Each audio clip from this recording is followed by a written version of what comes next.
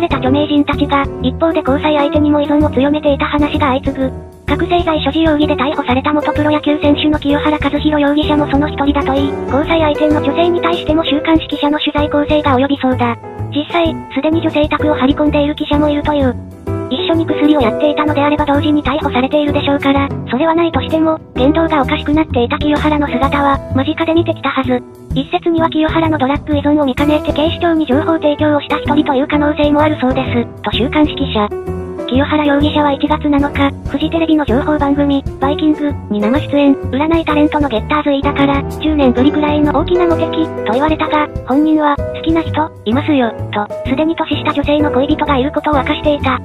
番組スタッフによると、出演後に、共演者から恋人について詳しく聞かれて、気軽に答えていた、という。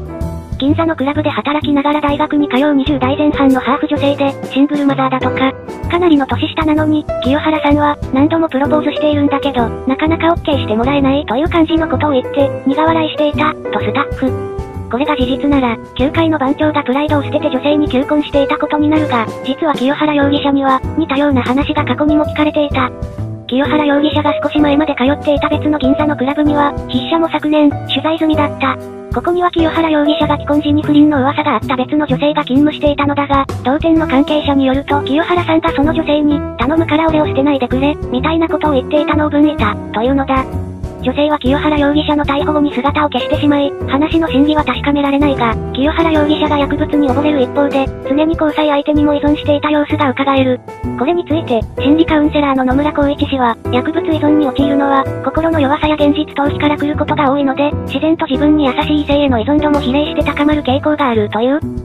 ただ、相手からすれば薬物を一緒に使用しようと誘われることも多く、応じなくても犯罪事実を目の当たりにしてしまう。当人が逮捕されれば、警察に事情を聞かれるなどして日常生活が脅かされる最悪の展開に陥ることも多い。どう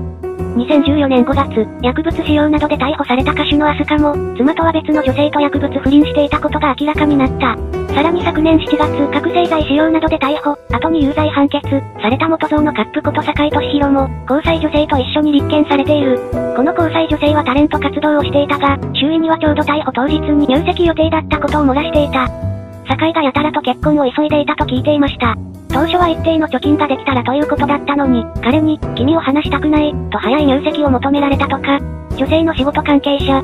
清原容疑者の女性に対する執着と共通する話だ。薬物事件では容疑者が家族や交際相手らを巻き込んで苦しみが広がるケースも少なくないが、著名人の事件も例外ではないのだろう。